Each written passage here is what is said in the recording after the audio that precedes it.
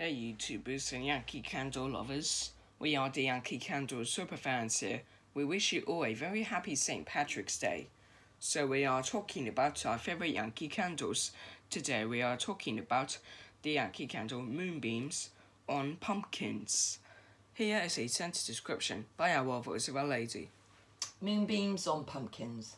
See pumpkin in a whole new light and colour with warm vanilla and just a sprinkle of nutmeg.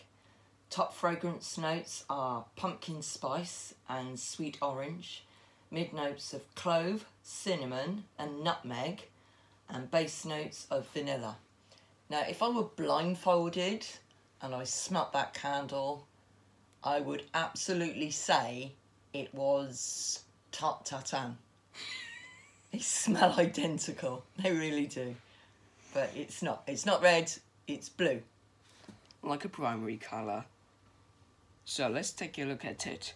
The color is blue and the label is Moonbeams on Pumpkins and it smells of apple strudel. So I'll give it 10 out of 10 of the rate. The Yankee Candle Moonbeams on Pumpkins is retired, hard to find, and was part of the Autumn Candles in 2017, four years ago. And that is our review for the Yankee Candle Moonbeams on Pumpkins. Please remember to like and subscribe with notifications on as you do not want to miss out of our future content. Come back soon. Bye bye.